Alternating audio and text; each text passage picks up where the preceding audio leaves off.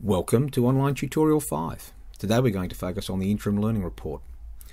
To start with, it's very important to understand that there are two very distinct sections in the Interim Learning Report. First, there's your ability to apply theory to an idea of your choice and your ability to demonstrate and explain the nature of your idea using theory and your engagement with others.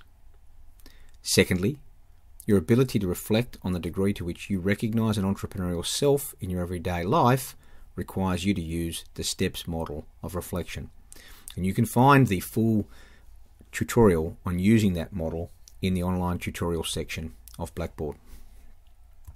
So let's start by thinking about section 1. To begin with, I think we can do this visually. It might make it easier for you to understand what is and isn't being assessed. In weeks 1 to 4, we did the pretest using a small amount of theory to ensure that you could understand which concepts were in play. Now, I want you to expand your understanding of those concepts using the materials available to you in QUT readings for the unit so that you can take that expanded understanding of those theoretical concepts and use them inside your group work all right, to help you develop your thinking, to organize your thinking, and to validate your thinking. And I want that thinking process to shape your ideas development and to also come back and help you to further understand the nature of those theoretical concepts. You can take that advanced understanding and then apply it to section one of your interim learning report, which is the only piece of assessment in addition to the pretest that's in play at the moment. The idea that you develop will be presented in Workshop 2 at the end of Week 8 in Workshop 2, as I said, but it won't be assessed. Either will your work and contribution within the group. The only thing that's been assessed is your thinking, which has been influenced by your engagement with the group. Okay? So, very important to understand whether you turn up or don't turn up at your group, that's not being assessed. The nature of the idea that you develop is not being assessed your ability to make sense of that idea using the theoretical basis in section 1 of the interim learning report is being assessed. So, how would I approach this? I would make sure that you take your understanding of the environmental interaction framework and you help apply it to your group's idea. You challenge each other to develop your idea through a process of proving you can satisfy that all elements of the framework can support your idea's development. What I mean by that is if you've got an idea that you've just sort of plucked out of nowhere, it just seems like a cool idea, but you haven't actually developed how it would create value. You haven't really developed how it would interact with the nature of its uh, ecological or selective environments. That's going to mean that your CPS statement at the other end is going to be very shallow. Okay, it's not going to have that really neat focus that's been developed as a result of you exploring all of those different elements and how you can satisfy me that they actually all have a logical relationship to your idea. So I want you to use this process of group interaction to sharpen your own thinking and to increase your awareness of how your thinking may differ from others in the group. Don't assume that the group has to develop some form of consensus as to how the theory relates.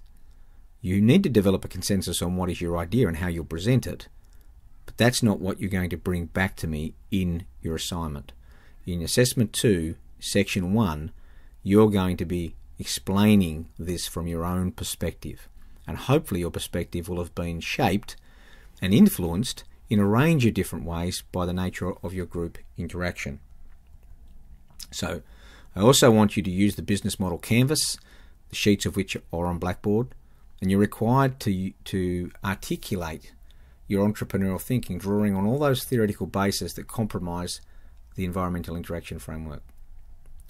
I want you, with direct reference to the new value creation idea, to explain how your individual collective resource profile has shaped your idea's development. Is this just an idea that relates directly to something that you're already good at, that you already know about?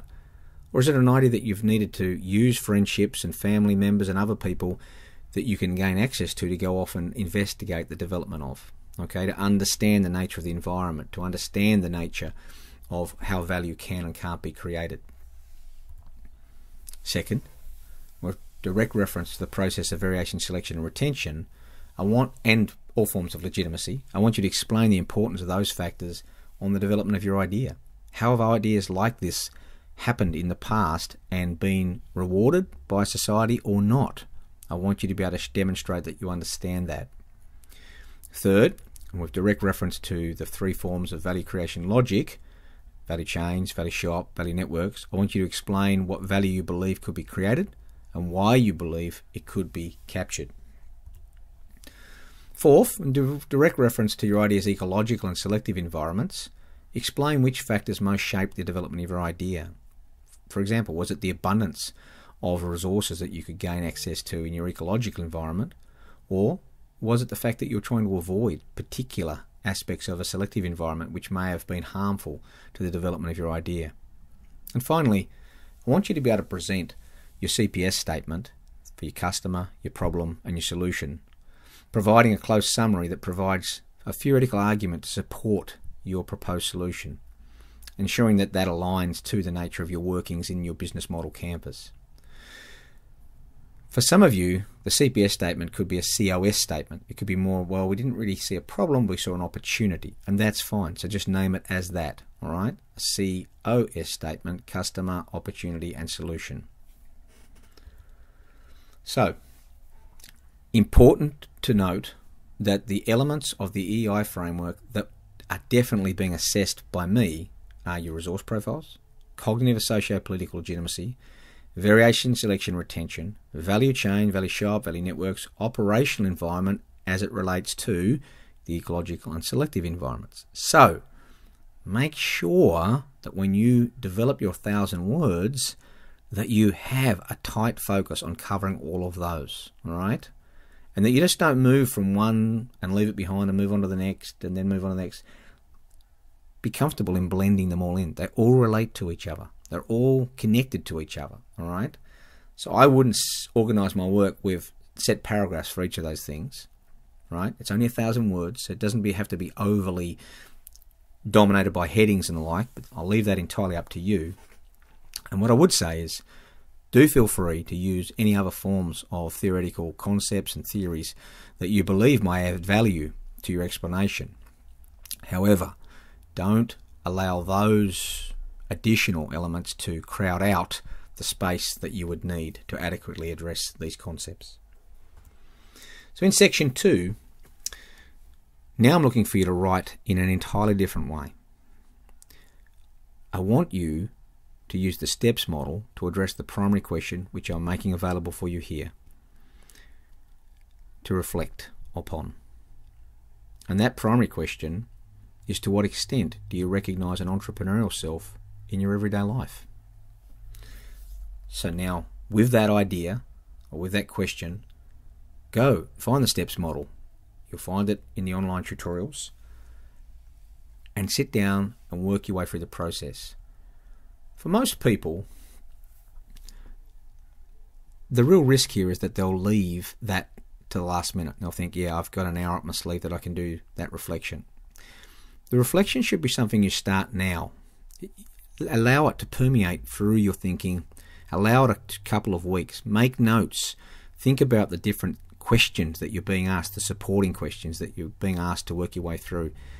When you're on the bus, when you're walking down the street, when you're just by yourself, think about those ideas. Allow yourself to really give yourself the best chance to get that vertical movement, to actually move down and really reflect deeply, as opposed to just trying to address the questions in a way that sort of looks like a thousand words and therefore it should be okay, right? Remember, I'm assessing the process. The process. So if you haven't followed the process, then you're not going to get good grades. You have to follow the process, which means using why to ensure that each of your seven primary, so each of your supporting questions is one focused still on the on the nature of the primary question and has a linkage from the previous question, which shows me that you're getting that movement down the steps and in a vertical way to ensure the linkages occur. Watch the video, and if you're unsure, watch the video again. So, final checklist you should be in a group where your opinions can be exchanged and developed, re a specific idea. You should be using the group and others, if you've got uh, you're a bit isolated, to test your thinking, but not explicitly to seek a consensus. You are aware of the task instructions which are on Blackboard, and you understand the specific focus areas of Section 1, as I noted uh, two slides ago. And you fully understand how to use the STEPS model of reflection. I'm going to run an online tutorial, I suspect, so keep an eye out for that so that we can uh, ensure that uh, anyone who's unsure can come along and have that uh, opportunity for interaction as well. All the best, and as always, if you have any questions, any doubts, just drop me a line.